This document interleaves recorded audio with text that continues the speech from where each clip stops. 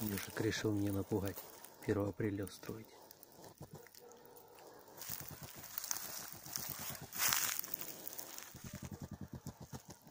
Пыхтит как паровоз.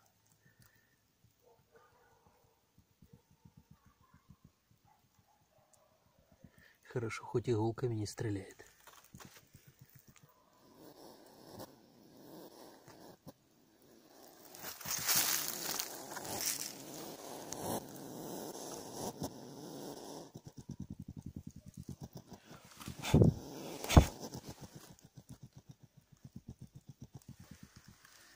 Ужас какой.